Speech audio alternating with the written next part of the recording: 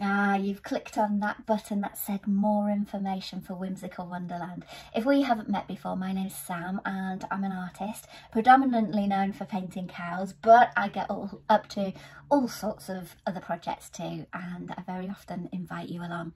Now, Whimsical Wonderland is all about and inspired by Alice's adventures in Wonderland. And I don't know if you're anything like me, but um, when you looked at these illustrations as a kid, they really captured your imagination. They stuck in your mind so much so that you really remember them well as an adult. And I think it's good fun to revisit things as an adult that you remember well as a child. One, just to sort of play with your imagination and, and bring imagination back into your creativity as well. And as an adult, we get, we get too serious and we get bogged down with to-do lists and responsibilities and obligations that it's really great to have a creative project that you just get lost into.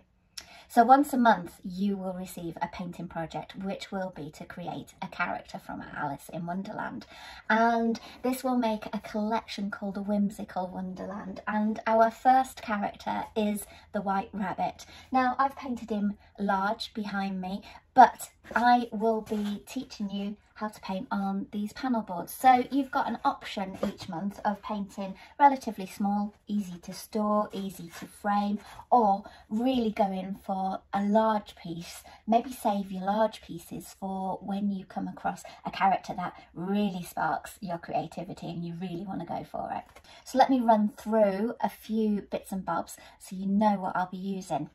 Now, first of all, as Alice says, cup of tea before adventure good cup of tea before adventure. So, you know the boards I'm going to be painting on, the links down in the information.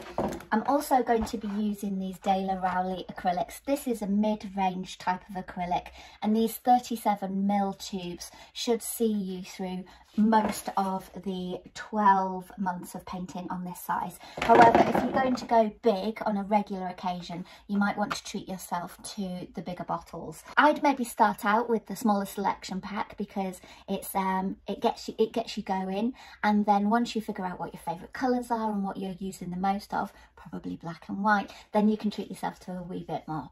So the brushes I will be using are three simple brushes. Now, I love a square flathead brush. So I tend to call this one the medium flathead brush and the small flathead brush. Really good for shading, really good for blocking. And we're going to go with a small detail brush as well. We don't spend too much time on that one, but it is really handy to have. And another um, good one to have is a big decorator's brush, just in case you are going to go and scale up your favourite drawings as well. Now, every month you will get a grid so you can practice the shapes and drawing the composition and design onto your panel really easily. And you'll also get a colour palette swatch so you'll know exactly what colours I'm using. So you can decide if you use the same colours as me or you pick your favourite colours and design it uniquely for your own colour palette. Now, the projects will have step-by-step -step guides, both written and you'll have me on a video breaking down the lesson into about six or seven stages. And those six or seven stages will take you through from blank canvas to finished piece of work. And by the end of the 12 months you will have all sorts of characters.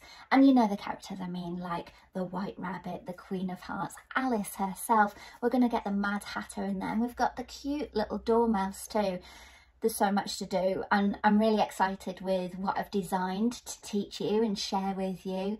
It's going to be good fun. So I'll see you in class.